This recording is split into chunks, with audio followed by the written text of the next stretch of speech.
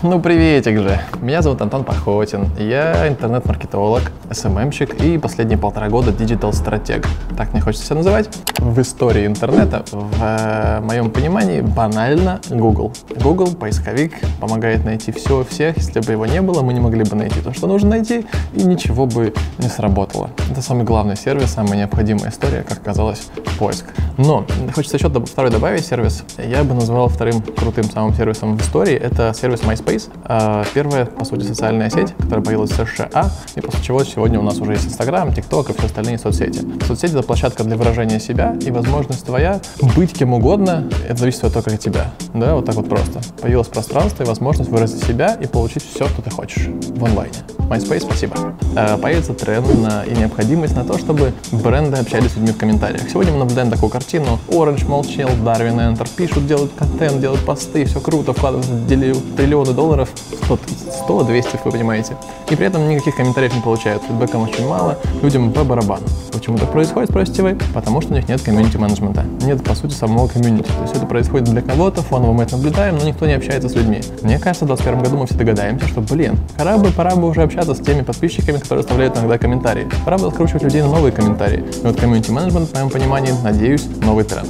Мне кажется, мы тоже должны понять одну важную вещь, что сегодня соцсети это и есть маркетинг. Ну, то есть вообще весь маркетинг — это соцсети, да? То есть странная такая мысль, вроде очевидная, но, блин, все, что мы потребляем сегодня, самое главное, оно приходит из социальных сетей. Раньше это была какая-то реклама, билборд, все что угодно, реклама по телевизору имел в виду. То сегодня соцсети — это и есть вот основной канал коммуникации. И поэтому в него будет вкладываться все больше бюджета, очевидно. И что еще очевидно, то, что перерастет от количества качеству. Я ожидаю в 2021 году, что будет меньше контента, но будет более качественный. Наша задача будет зацепить пользователя, его за глаз, за эмоцию, за чувство и поддержать чуть-чуть собой. И чтобы это сделать, недостаточно будет постоянно публиковать что-то. Два раза в неделю посты нафиг не надо. Один раз в месяц, но качественно. Ну и добавлю технологический тренд – это покупки в социальных сетях. До нас уже доходят какие-то возможности собирать деньги, как минимум в онлайне, да, собирать на какие-то нужды, краудфандинги, вот это вот все проводится уже в, уже в Фейсбуке возможно. За рубежом уже давно позволительно покупать, покидать в корзину в Инстаграме продукты всякие разные, и у нас тоже это будет возможно. Мы должны быть к этому готовы и должны принять к сведению, что вот Инстаграма будет достаточно для продажи ваших продуктов, товаров, одежды, все, чего угодно. И это новый тренд, важный тренд.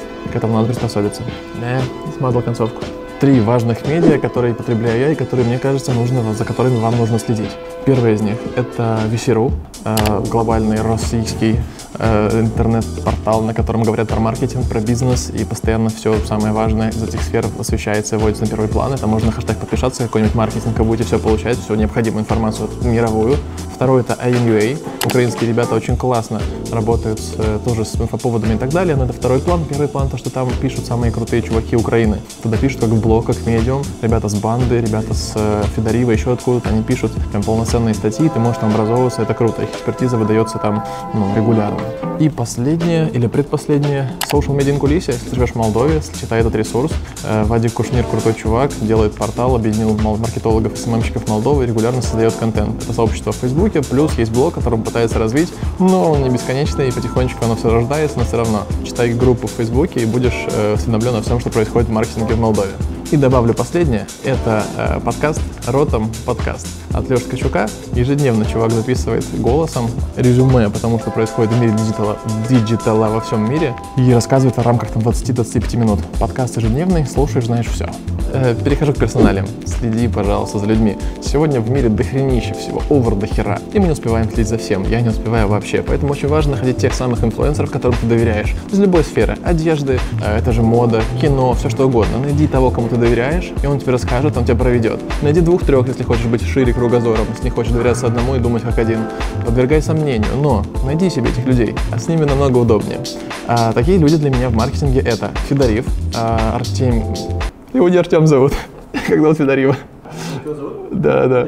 Андрей, точно, Андрей Романович, точно. Андрей Федорив, э, владелец, создатель одноименной студии в Украине, студия брендинга, маркетинга, креатива, чего угодно. Ребят делают крутые рекламные кампании, и круто, сам Федорив рассказывает свою экспертизу, слежу за его YouTube-блогом, выдает там регулярно контент на бесплатной основе, крутой выдал контент Папа Бренд, очень классный блог, очень классный материал, упакованный там в 13, кажется, серий, советую каждому посмотреть. Второй человек, за кем нужно следить, это Леша Ткачук. Леша Ткачук, его портал Dinative, подкаст я уже посоветовал посоветовал его, Ротом подкаст.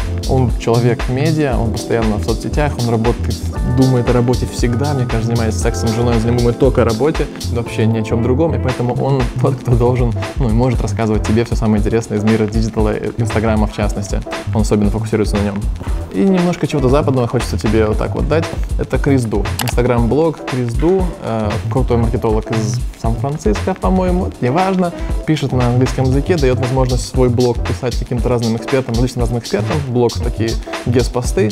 Он собирает в короткие карточки, в карусели таких инстаграмовские очень много э, полезных материалов, очень сложных, разбивает их на 10 карточек и такой, а, вот как это работает. Вот почему люди выбирают такой товар, а не такой. Вот такое исследование было. Тебе от 16 до 22, может 28, 29, 30, неважно сколько тебе лет, но ты хочешь войти в digital, в digital какое сложное слово, в цифровой маркетинг, в общем-то.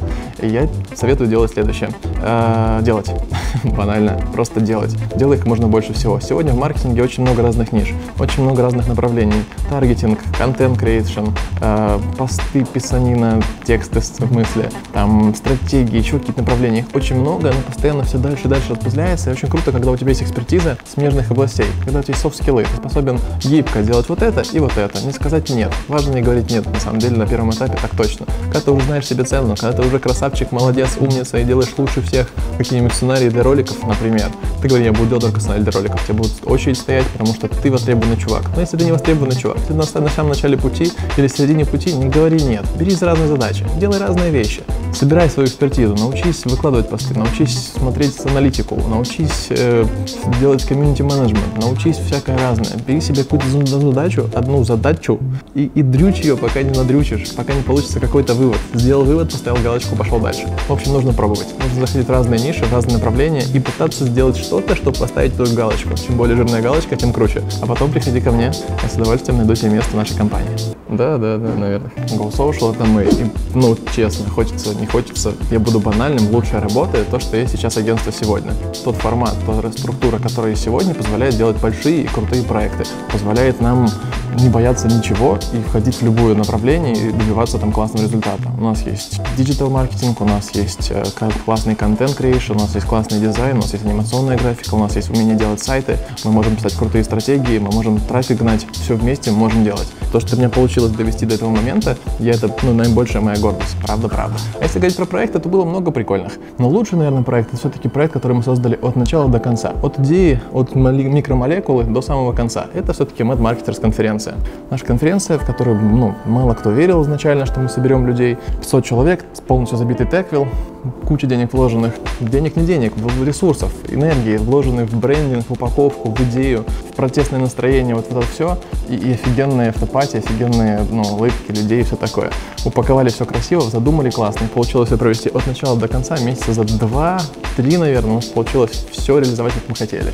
Вот такая вот э, вишенка, тортик, хочется сфоткать и съесть. Что я думаю про ТикТок? Думаю, что он навсегда с нами, ребят. Придется смириться. Ну, ну, ну, некуда деваться. Вижу сейчас в ТикТоке то, что было с Инстаграмом лет пять назад. Помню свою девушку, подарили ей хороший телефон, такая, Инстаграм для ТП. Ну, вы понимаете, да? Сидят там ТП, и я там сидеть не буду. Сегодня она инстаграмер со стажем, там 5000 подписчиков, регулярно что выкладывает, Инстаграм вся жизнь. Плюс-минус то же самое ожидаю от ТикТока. Мы дойдем до него все. Вопрос когда, клиповое мышление, быстрый fast -контент, юмор, кайфы, вайны, которые смещены вот так вот сжаты. Все это есть в ТикТоке, все это, ну, возможность получить немножко эндорфинов, говорят вроде как в таких случаях. Кайфа, кайфа немножечко. Зашел, посмотрел, кайфанул, пошел дальше. Соцсеть для удовольствия, для развлечения, обмена энергиями, ну, очень хорошая штука. И мы к ней все придем. Некуда деваться. Нам нужна такая платформа. Я думаю, что? Думаю, что крутые ребята из Парабургер, дали бюджеты агентству, агентство делает крутые вещи, снимают ролики, балуются, работают с адазивкой, получается круто, дорого, прикольно. Самовыражаются, дали им простор для творчества, и они это делают, очень круто получается, очень интересно следить. Дарвин. Традиционно крутой маркетинг у Дарвина уже много-много лет, года 3-4, наверное, ребята рвут всех, ну, вообще. Почему? Потому что делают много, потому что делают и стараются, потому что изобретают новые направления, потому что у них крутой YouTube-канал с крутым чуваком, который реально тащит, и его интересно и приятно смотреть, потому что не стесняются, потому что делают, опять же, много и по-разному. И это работает. Мы все знаем Дарвин, мы все знаем его вайб, мы понимаем, какого типа этот бренд и что он за бренд. Он есть у нас, он есть у нас в умах. Добавлю сюда еще пару брендов, так вот, тынк-тынк-тынк, быстренько. А, Себа. Себа, ребята тоже вкладывают огромные бюджеты в маркетинг, делают много всего, за счет того, что много получается, что что-то выстреливает, работают с ситуативкой, регулярно пилят какой-то контент на разные-разные темы, стараются притянуть все это к какой-то актуалочке, и часто получается, ну, иногда получается, но так как они много делают, получается, что мы их замечаем. И они тоже есть активный, четкий бренд. Плюс вся эта вот история с чики-чики-ту и так далее, много правильных, хороших мувов, ребят, с точки зрения зацепить молдавского пользователя. Мне не близок их маркетинг, откровенно говоря, ну, отказаться от того, что они, ну, не говорить, что они крутые, было бы, было бы непрофессионально с моей точки, с моей, с моей стороны. Мне еще нравится несколько брендов, скажу их так, быстренько. Первое. Фуйор. Фуйор это, ребята, ресторан. Очень удачно позволили нам делать то, что мы хотим. Это наш клиент. Здрасте. Поддерживают всю эту историю очень красиво. Сейчас там есть а, озвучка контента радиодикторами, красивыми голосами. Очень красиво все фоткается. Есть своя история, есть культура, отличается от всех остальных. Загляните, посмотрите. Чувствуется ведение социальных сетей, плюс там дополнительный маркетинг, различные блогеры, различные медиа, плюс там газеты, ой, журналы наши местные. Все вместе выглядит очень красиво, очень дорого. Есть ощущение дорогого чего-то и такого очень приятно. Не просто дорого, премиум, богато, а натураж, я его считываю, по крайней мере, а что-то вот такое, куда хочется дотянуться. Приятная такая дороговизна, знаете ли. И еще такой бренд, скажу, Unlucky Duck. Это тоже коммутризм полнейший. Мой брат ведет этот бренд, делает э, э, стор вещей винтажных, чем прикол? В том, что он звукорежиссер, разбирается в одежде и пишет музыку, и каждый раз анонсирует свои какие-то коллекции, сборы своих вещей. Как-то прикольно. Ну, пишет прям минуса, пишет треки, все это вы, выставляет в онлайн, и всегда очень интересно следить за тем, что будет следующее. Мне, как брату, типа, я очень строг к нему, но каждый раз он меня удивляет какими-то прикольными штуками. Кавер на скриптонит, какими-то клипами, каверами на кто-то кутунью, кого-то еще. Очень круто смотрится, очень прикольно выглядит. Худшие чуваки на рынке, худшие рекламные кампании, которые я помню в Молдове, которым хочется дать по щам. Э, есть такие, э, давать по щам никого не надо, конечно, это все опыт, ошибки и не важны. Дарвин. Я сказал, что они красавцы. Дарвин сделал нам такую паршивую рекламную кампанию. Если помните, с этой историей не делись. Где жвачки друг другу передавали и тому подобное. Очень плохо. Не знаю, как они допустили это, как к этому пришли, как это сделали, но вызвали реально лютую эмоцию у большого количества людей. Эмоция имеет срок службы, срок годности. Она выдыхается, все равно вы будете приходить в Дарвин, думать, что они молодцы. Они покроют это следующими рекламными кампаниями. В целом так делать не нужно, но, конечно, когда это не специально получается, когда делать много всего, когда ребята реально экспериментируют, это прикольно. То есть глобально прикольно, а сама компания жуткий фейл. Но так делать нельзя. Нужно думать о потребителе, думать, что он будет чувствовать. И еще одна вспомнил, это Пегас. Пегас работает с блогерами активно. И запускали с блогерами рекламную кампанию, снимали ролик, что там на, на взлетной полосе. Там что-то такая дорогая штука, продакшн, что-то здесь снимает, получилась полная клака. И как? Почему так? Почему плохо? Потому что делается все с претензией. То есть казалось бы, мы крутые, едем на машинах, туда-сюда. И хотели подать так, как, ну, мы Голливуд, мы крутые.